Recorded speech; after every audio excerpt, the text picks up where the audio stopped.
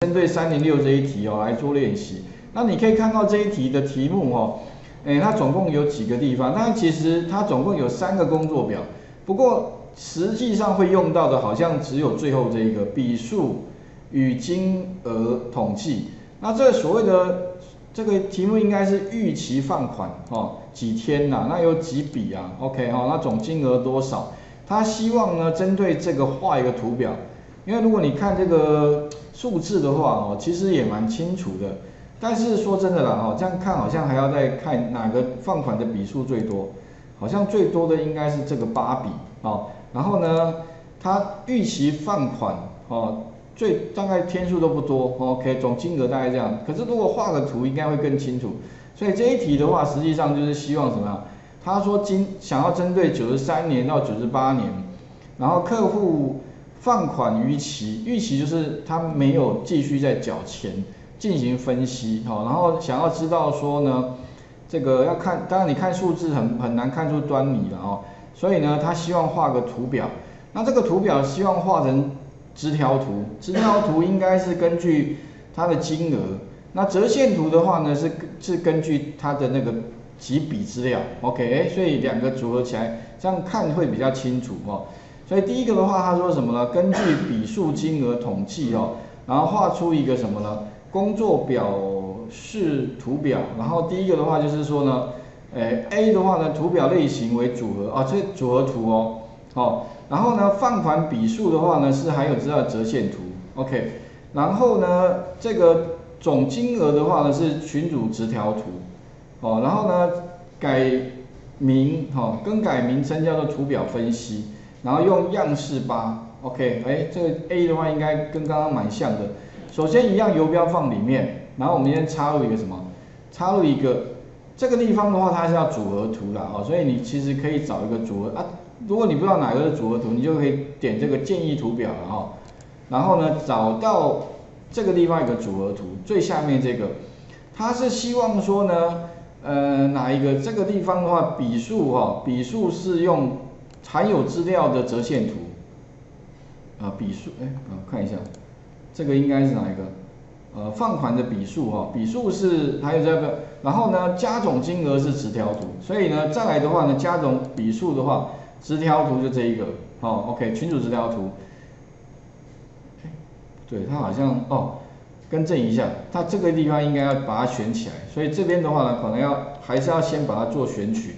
如果没有选取的话，它好像会没办法抓到正确的范围。然后它选的话，因为这个资料是在 A 三到 C 十哦，所以我们先把它选起来，然后找到这边的话有个组合图哦，OK。那组合图的话就点最下方这一个，然后放款的话呢，我们是笔数部分的话是含有资料标记折线图啊，这边的话呢就是它的呃群组直条图哦。但是你说老师为什么它这边变一点一点的哦？跟各位讲一下哈，它这边有一个叫做主要坐标轴。那主要坐标轴如果哈两个资料相差太多，因为它的笔数其实个位数字，可是金额是到几百万，哇，差太多，所以变成说最好是两个轴。那它这个题目好像有提到放款笔数要是负坐标轴，所以这个负坐标轴就要打勾了。我刚刚我可能漏漏勾了。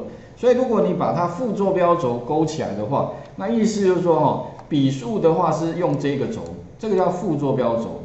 那金额的话是这边，所以你会发现哦，相差还蛮多的。这个是零到九，有没有？这边是最多是四百五十万。OK，好，这样确定之后，那我们就产生了我们要的一个一个图出来了哈。OK，那接下来的话呢哈，它要我们把它设计里面呢。找到它的样式是样式八，所以样式八点一下，这样就把它做一个，诶，这个样式的变更哈。那接下来的话呢哈，还要把名称改一下，叫做图表分析。所以图表分析的话呢，上方你可以看到它没有图表标题，所以如果没有图表标题的话，你要怎么让它增加图表标题？这边记得哦，旁边不是有个加号对不对哈？那如果没有图表标题的话，你是可以点加号之后的话。旁边是会有一个叫图表标题的一个选项，你把它打勾，图表标题就出来了。然后这边的话，它是希望说呢，把这个改成叫什么？叫图表分析。所以这个图表标题这两个字哈，把它改成叫分析。OK，好，那接下来的话呢，我们就已经把这边的有没有？对，它这边有提到关键字就是对应到副坐标轴，有没有？这个是放款笔数哦。那接下来的话呢，就是图表分析工，哎，他说要把它放在一个新的工作表了，所以刚刚产生这个的话，你可以按右键，哦，它这边有个移动图表，对哈，把它移动到一个新的图表。那名称的话呢，它好像有提到，就叫叫做什么？呃。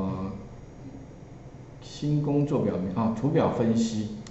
那我刚刚好像错了，应该不是，呃，图表标题了，应该是移动到那新的工作表哦。所以这边的话呢，取消一下，这个应该不对，应该不是这个哈，更正一下。这个的话应该就不是图表标题，直接按滑鼠右键啊，其实是移动图表，把名称呢改到一个新的图表。那名称的话就是图表分析了哈，这样应该才是正确的。OK，放在这边来，好。好，那请各位先试试看，好，这个地方的话就是完成第三零六的第一题，哦。的话就是说，哦，那个做这个底下的调整，也就间距，哈，本来它的直条图间距很宽，它把它改成间距三十，哦，所以呢，接下来的话就是直接在这个直条图上点一下，然后再点右键，找到那个一样，我的习惯就是什么呢？按右键之后找到格式设定，啊，资料数列格式。那它的宽度就间距哦，本来是两百一一十九，改成三十，Enter。那你会发现哦，改三十之后，哎，有没有发现它的那个柱状直条图的间距就变很小？那看看起来好像啊比较 OK 一点哦。然后再来的话就是调整它的颜色，它预设是橙色啦，可是它要把它改成什么？改成那个就是用什么填满？填满的样式就是深色水平线。然后前景为浅蓝色，OK，所以这个地方的话就填满。那填满怎么填满？其实还记得吧？填满就是油漆桶哦。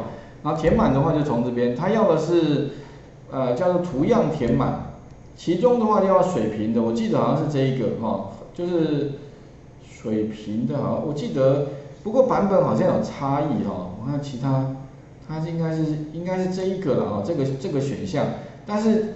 之前的版本好像颜色，呃，它的名称不太一样。这边叫横条纹深色，我看看它题目要横条纹深色，它叫什么？呃，叫深色水平线，好像名称有改过了。我记得位置差不多是在这这个地方哦。然后再来的话，前景颜色是什么？它要是浅蓝色，浅蓝色这一个，好点一下。然后再来的话呢，哈，根据它的题目这边有一个前景 OK。再外框线一点五 pt，然后深蓝色，所以接下来的话就把它改成什么？因为这边是填满嘛，把它收折。